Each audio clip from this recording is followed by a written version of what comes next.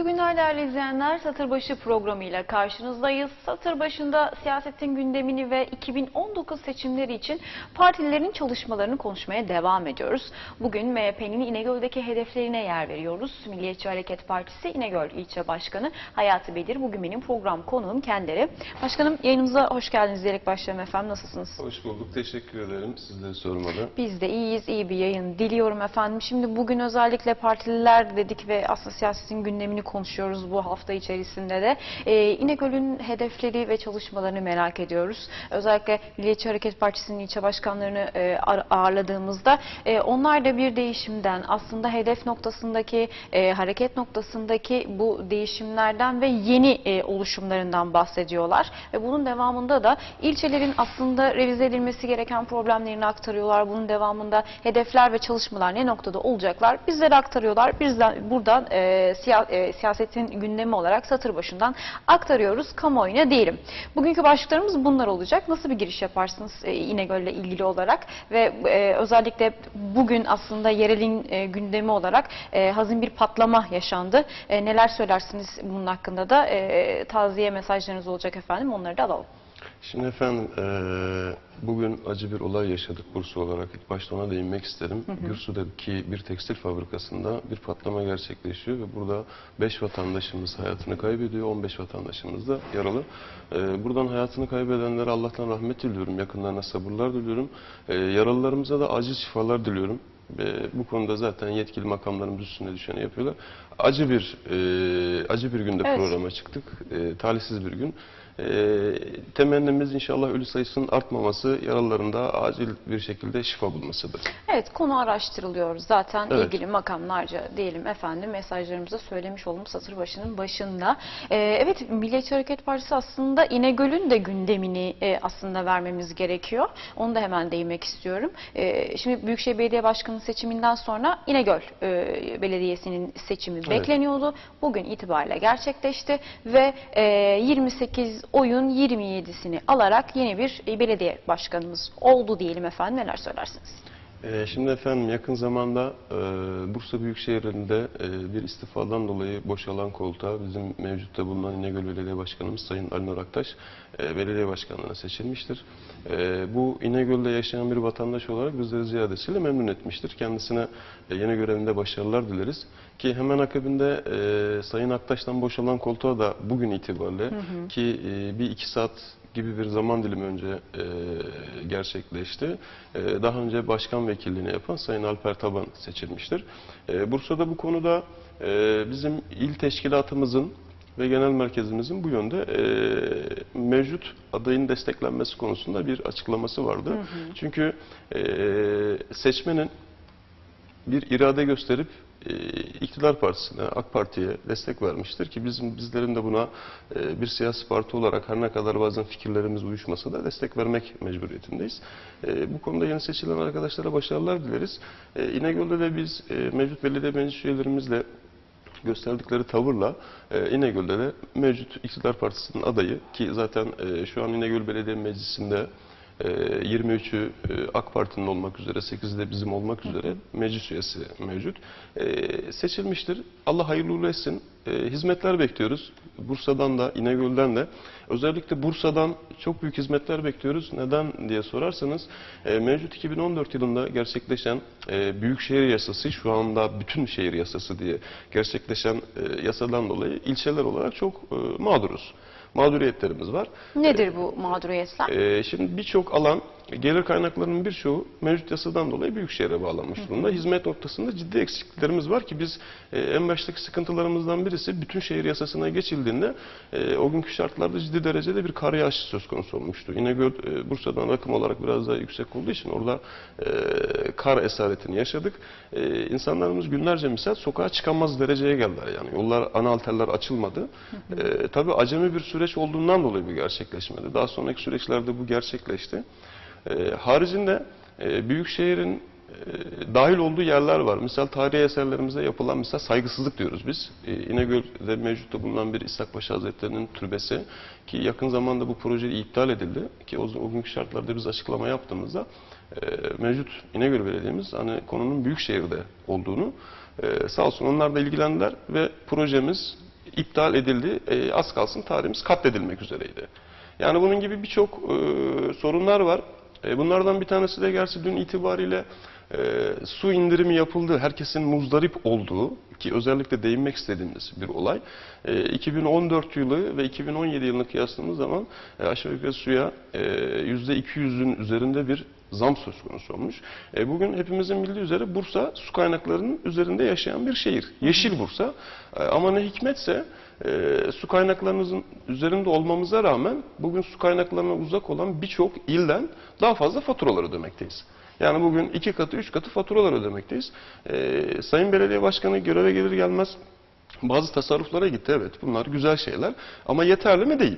Yani bugün e, 100 TL'lik bir faturada %11 indirim yapmışsınız. Çok kayda değer bir şey değil yani. Bugün e, ülkemizin birçoğu, vatandaşlarımızın birçoğu asgari ücretle geçim sağlayan insanlar ki bu su e, herkes tarafından tüketilen bir şey. Yani bu konunun tekrar değerlendirilmesini ivedi bir şekilde, ivedi bir şekilde e, gösterilen iyi niyetin %11'lik zammın e, daha göz dolduran, gönül dolduran bir şekilde yapılacağına inanıyoruz. Evet aslında hemen altında çizmek lazım. Ee, Büyükşehir'in açıklamalarından bir tanesi de şu oldu. Ulaşımda ve suda e, indirim noktasına gidiliyor açıklaması. Ona bir e, atıfta Evet. bulunuyorsunuz şu anda. Evet indirimlerin daha da yapılması gerektiğini söylüyorsunuz. Şimdi o zaman hemen sudan bahsettiğiniz için hemen soralım. İnegöl için su kaynakları ve bunun devamında e, suyun önemi tüketimi ve indirim yapılması gereken noktayı söylüyorsunuz. Nasıl bir dönüşüm sağlanabilir İnegöl için? Şimdi nasıl bir dönüşüm sağlanabilir? E, şu şekilde Çalışma de- noktasında ne yapılmalıdır? Ne yapılması gerekiyor? Şu an e, su idaresi Bursa Büyükşehir Belediyesi'ne bağlı olduğu için yani şu an itibariyle tüm yetki kendilerinde. Evet. Yani muhtemelen e, Sayın Belediye Başkanımız da bunu bürokratlarıyla bir şekilde değerlendirip hani bu kadar zammın, bu kadar fiyatların ne kadar yüksek olduğunu illa değerlendirip ona göre bir açıklama yapacaklardır ya da e, detaylı bir indirime gideceklerdir. Çünkü bugün bakıldığı gibi e, örnek veriyorum Eskişehir'de su 1.50 metreküpü bizde 3 nokta küsür. Yani buna katı atık bedellerini koyduğunuz zaman ciddi bir rakam ortaya çıkıyor. Şimdi bakıldığı gibi Eskişehir Türkiye'nin bir vilayeti. Bursa da Türkiye'nin bir vilayeti. Sanki başka ülkeymiş gibi algılanıyor ve aramıza bugün bakıldığı gibi Bursa ile ortalama 150 kilometre mesafede ve Eskişehir su kaynaklarına sahip olan bir ilimiz değil. Kocaeli, e, diğer iller biz bunların e, rakamlarını çıkarttık, yanımızda getirmedik. Arzu edilirse biz bunları da sunabiliriz. Yani bu konuda indirim yapıldığı takdirde bu vatandaşın cebine yansıyacak. Vatandaş bu harcamasını başka bir yerde değerlendirecek. Dolaylı olarak ekonomiye de ciddi bir katkılar sağlanmış olacak. Yani bundan birkaç sene önce, birkaç sene değil yani iki sene önce 30 TL gelen faturalar bugün 90 küsür TL'nin üzerinde geliyor. Yani burada e, 60 TL'nin üzerinde ciddi bir artış var. Şimdi vatandaş bunu burada bu faturalara yansıtmadığı gibi farklı bir ihtiyacına kullanacak. Bugün e, ülkemiz ciddi sıkıntılardan geçmekte. Özellikle ekonomik olarak sanayicimiz can çekişmekte. Esnafımız can çekişmekte. E neden dolayı insanımızdan doğru düzgün harcama yapamadığından dolayı. Harcama yapabilmesi için cebinde kaynakların olması gerekiyor. Bunun gibi değerlendirebiliriz. Yani illa bunun yansıması e, bu ve benzeri olaylarda indirime gidildiği takdirde bunun ekonomiye de yansımalarını göreceğiz. Hep birlikte. Evet sudan bahsettiniz. Peki İnegöl'ün e, özellikle Bursa için problemlerden bahsettiğimizde öne çıkan başlıklardan bir tanesi de trafik oluyor. Tırnak içerisinde İnegöl için de bu durum e, ne derece geçerli ve yapılması gereken, planlanması gereken trafik noktasındaki e, durumlar nelerdir efendim?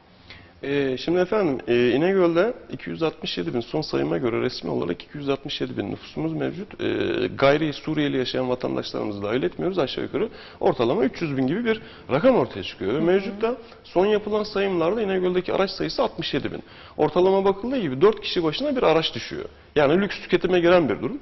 E, ve mevcutta İnegöl e, yıllık ortalama 20 bin üzerinde nüfus göçü alan bir şehir. Yani mevcut bulunduğu sanayisinden dolayı 3 tane OSB'si var, mobilya sanayisi var. Ciddi derecede her sene e, 20 ve üzerinde 20 bin üzerinde bir göç alıyor. Ve bu büyüme e, dışarı doğru değil genelde içe doğru. Yani bugün merkezde bir büyüme söz konusu oluyor. E, burada da ciddi bir trafik yükü söz konusu. Yani önceden e, bundan bir 10 sene önce 15 sene önce bu Bursa için de geçerli birçok iller için de geçerli. Yani bugün Bursa'ya gelmeye kalktığınızda bile İnegöl'den mesela Gürsü girişine kadar 17 dakikaya geliyorsunuz. Gürsü'den merkeze gelmek için hele ki şu saatlerde aşağı yukarı bir saatin üzerinde bir e, zaman harcıyorsunuz. Bu konuda e, parti teşkilatımızda oluşturduğumuz komisyonlarımız var. Şu an itibariyle trafik komisyonundaki arkadaşlarımız çalışıyorlar. Aslında bundan alakalı teknik bir çalışmamız vardı. E, sinevizyonlu bir görüntü. Arkadaşlarımız yetiştiremediğinden dolayı biz sizlere getiremedik.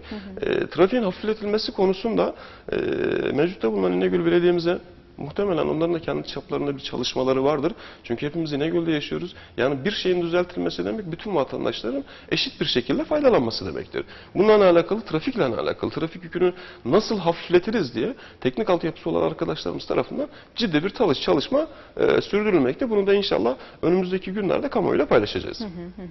Bunu da altın çizelim. Trafik Tabii. noktasının aslında önemli olduğunu vurguluyorsunuz. Evet e, şehrin içerisindeki e, ana arterler bunun devamında yol çalışmaları bunların hepsine baktığımızda aslında trafiğin artık kilitlenme noktalarının olduğunu görüyoruz. Keza İnegöl'de de böyle diyorsunuz. E, İnegöl'ün e, aslında Bursa ulaşımı ve bağlantı noktalarında yaşanan sıkıntılar var. Ama e, İnegöl'ün trafiği de aslında araba sayısına bakılarak e, söylenebilir bir problem Tabii. teşkil ettiği de e, aktarılabilir diyorsunuz. Kentsel dönüşüm başlığını da sormak istiyorum. İnegöl için şu andaki durum nedir? Çünkü biz kentsel dönüşümü hep e, sorduğumuzda ve merak ettiğimiz noktada evet kentsel dönüşümün devam ettiği, başladığı ama hangi süreçte büyük hedefler ve planlar noktasında nereye gideceğini bilinmediğini konuşuyoruz ve aktarıyoruz. İnegöl için kentsel dönüşüm ne noktada? Şimdi İnegöl'de e, kentsel dönüşüm için seçilmiş bazı alanlar var. E, örnek olarak verebilirim. Bugün Turgutalp Mahallesi'ndeki orada eski tekel evleri dedikleri mevkide bir e, kentsel dönüşüm e, alanı içerisinde. E, Mahallesi'nde bir kısım kentsel dönüşüm çalışması içerisinde. E, bazı noktalar kentsel dönüşüme alınmış durumda ama bunun çalışmaları yapılıyor. E, tabii daha hızlandırılması gerekiyor. Çünkü e, kolay yapılan bir şey değil. E, daha çalışmalar başlamadı. Muhtemelen kentsel dönüşüm çalışmaları yapıldığı zaman şehir trafiğinin biraz daha hafifleyeceğine inanıyoruz. Ki bu kentsel dönüşümlerden misal Bursa'da da e, kentsel dönüşüm alanına giren yerler var. Mesela Yıldırım'ın alt kısımları e, birkaç sene öncesinden kentsel dönüşüme girildi. Orada göstermelik birkaç tane bina yapıldı. Halen daha mevcutta bekliyor. Ee, İnegöl'de kentsel dönüşüm yapıldığı takdirde trafik konusunda, yaşam alanı konusunda e, ciddi bir alanların açılacağına biz inanıyoruz. E, hariçten de şöyle bir durumumuz var. Şimdi deprem kuşağında yaşayan bir ülke olduğumuzdan dolayı İnegöl'de e, konum itibariyle fay hattına yakın bir kısımda olduğundan dolayı e, 17 Ağustos'u hepimiz birlikte yaşadık yani 1999 yılında. Bundan sonraki süreçte mesela kesilen ruhsatlar 2, 2 kat olarak şimdi de 3 kat olarak değerlendirildi. Ama bizler şunu görüyoruz ki e, bir özel bir alanın, özel bir mülkiyetin kentsel dönüşüm kapsamına sokulup 5 kat misal verildiğini görüyoruz. Evet güzel oldu mu? Çok güzel oldu. Biz bunun şehrin bütün her yerinde tabii gerekli teknik altyapıların çalışması yapıldıktan sonra e, kat yükseltisinin olmasını bekliyoruz.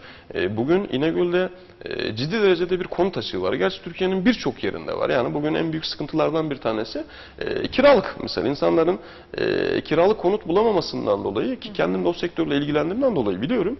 E, ve kira bedellerinin çok yüksek olmasından dolayı. Evet. Bugün İnegöl'ün ortalama bakıldığı gibi yıllık e, şu şekilde değerlendirirsek yıllık ortalama İnegöl'de 1500'ün üzerinde e, çiftimiz dünya evine giriyor.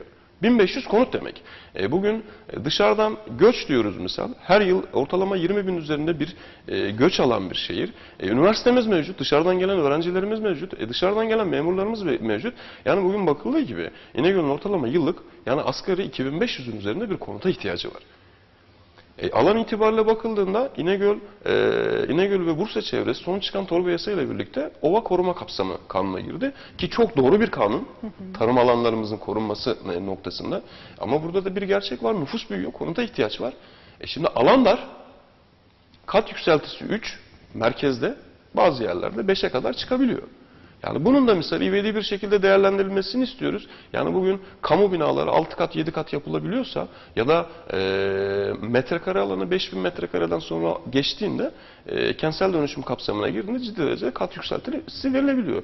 E, bunun e, kişilere ait misal özel mülklerde de değerlendirilmesini isteriz. Yani gökyüzüne doğru büyüme belli bir ölçüde. Yani bu da İnegöl'deki e, nüfusu etkileyeceğine inanıyoruz. Yani trafik oranını mesela hafifleyeceğine inanıyoruz.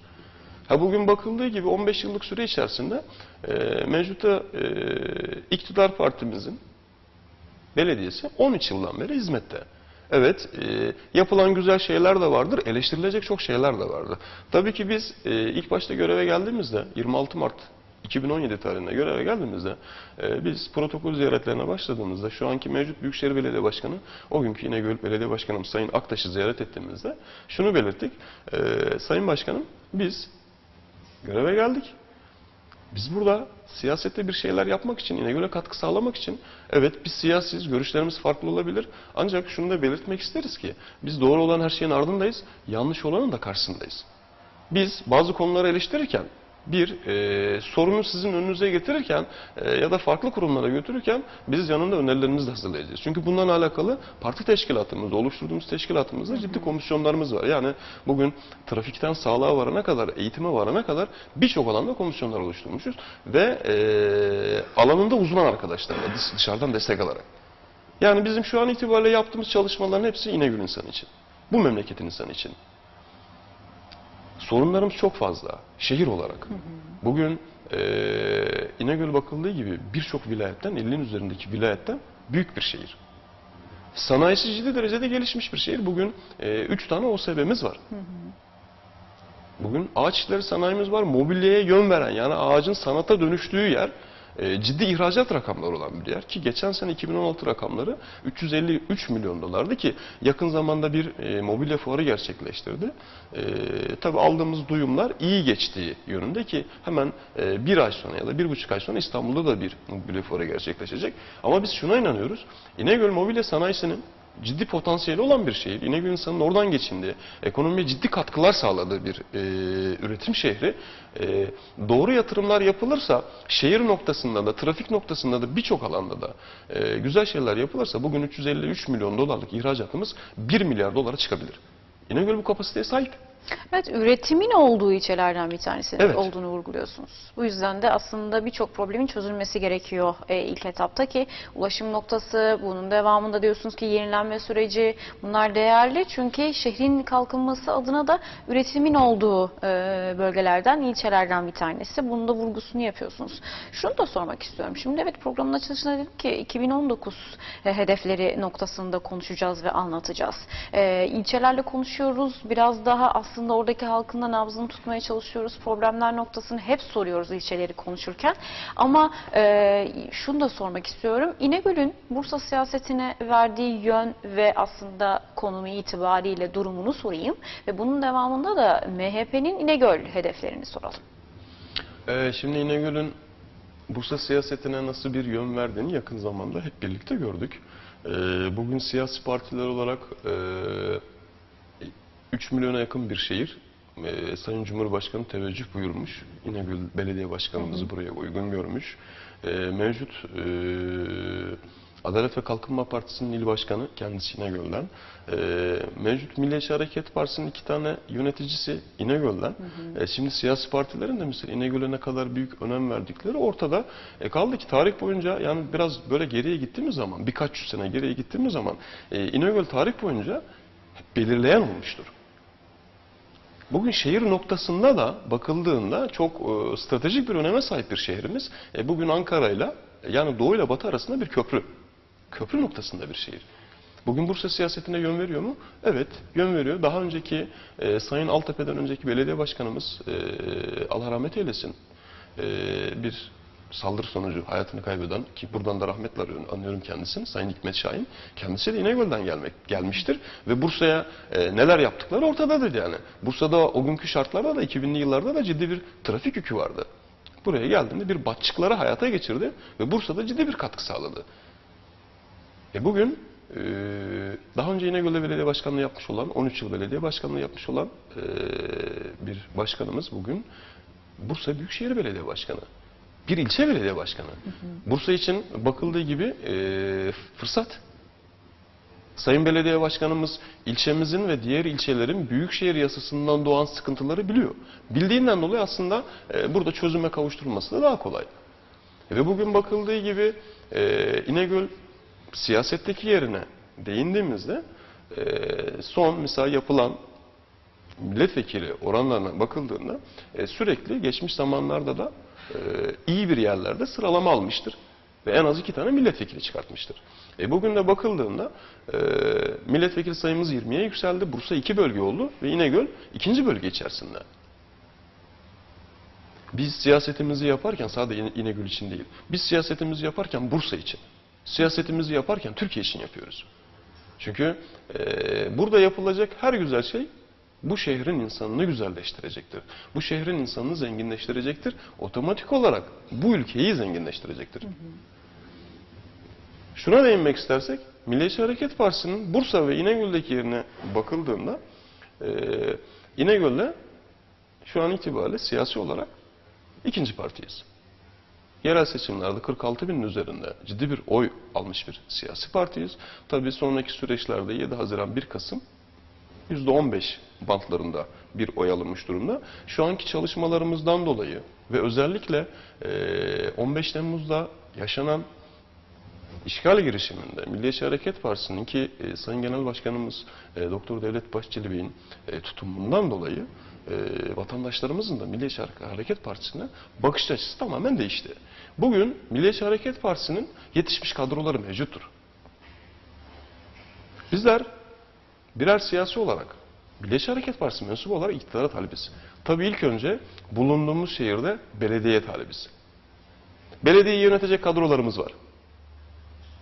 Milletin parasını doğru bir şekilde harcayacak, doğru bir şekilde yönlendirecek kadrolarımız mevcut.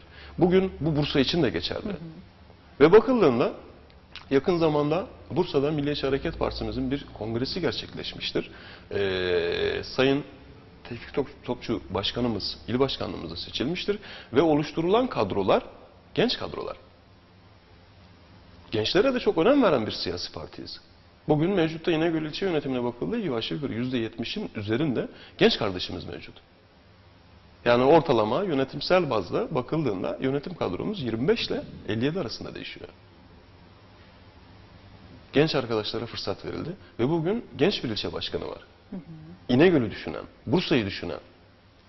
Bizlerin siyasetten beklentisi bu devlete, bu millete hizmet etmek. Hakkıyla hizmet etmek. Bugün e, İnegöl'ün 185 milyon TL gibi bir bütçesi mevcut.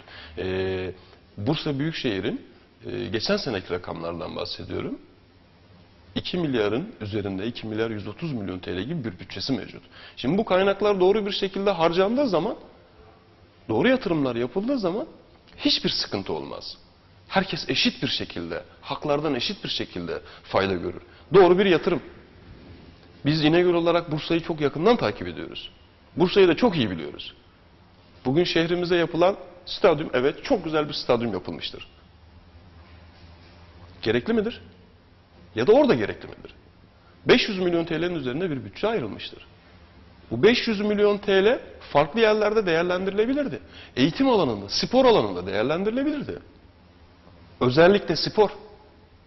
Gençlerimizin spora, futbola yönlendirilmesi gerekiyor. Ama bunun yapılabilmesi için de amatör takımlarımızın, köy takımlarımızın da desteklenmesi gerekiyor.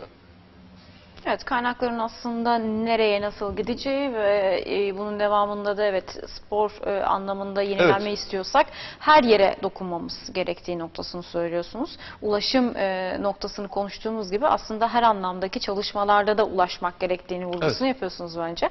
Bu da önemli ve değerli. Şunu da soralım. Evet siyaseten bunları söylüyorsunuz ve siyasi söylem olarak aslında herkesin çalışmaları var. Görünen noktalar var. Peki İnegöl halkı ne bekliyor? Onu da soralım. Hizmet.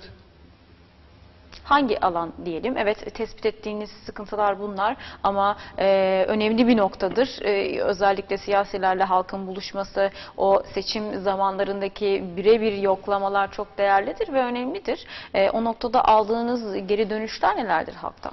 Şimdi e, 7,5 aylık yönetim kuruluyuz.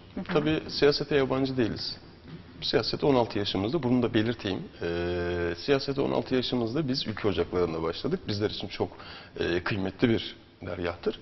E, oradan geldik ve son 4 yıl içerisinde, 4 yıldan beri aktif siyasetin içerisindeyim. Bugün İnegöl'de doğup büyüyen birisiyim.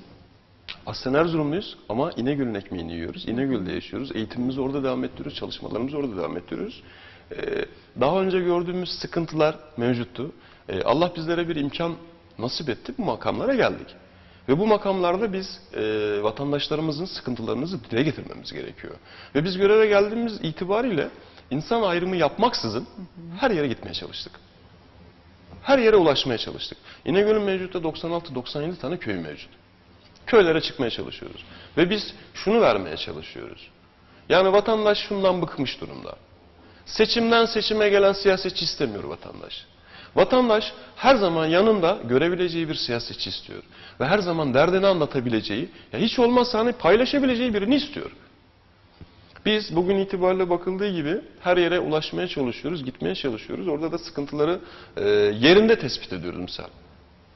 Kişilerin bizzat muhatapların kendinden dinlemeye çalışıyoruz ki yakın zamanda misal bir e, köy ziyaretimiz vardı. İnegöl'ümüzün bir e, köyü. E, gittiğimizde yollar çok ciddi derecede sıkıntılıydı. Yani bugün köy yollarına çıkıldığı gibi köstebek çukuru gibi. Yani burada insanlarımız yaşıyor. Şimdi insanlarımıza doğru hizmet giderse doğru bir şekilde verim alabiliriz. Orada başkanım sizlere çok kızgınız dedi. Dedim neden sayın muhtarım? Sadece seçimden seçime giriyoruz. Hayır bakın seçim yok dedik. Biz sizi ziyarete geldik. Derdiniz nedir? Bugün çiftçimiz, çiftçimizin sıkıntıları çok büyük. Ürünleri para yapmıyor. Yaşadığı yerdeki, ya diyor biz diyor büyük şehire geldik. Evet, büyük şehir çıkarken, büyük şehir yasası çıkarken şunu söylediler. Şehirde ne olacaksa köyde de aynısı olacak. Evet, şehirde ne varsa köyde de aynısı var. Şehirde su faturası ödüyor vatandaş. Köyde de artık su faturası ödüyor. Önceden ödenmiyordu. Birçok kaynakları kendi öz kaynaklarından kullanıyordu. Hizmet noktasında gidilmiyor buralara. Bugün bakıldığı gibi Bursa'da yaşıyoruz.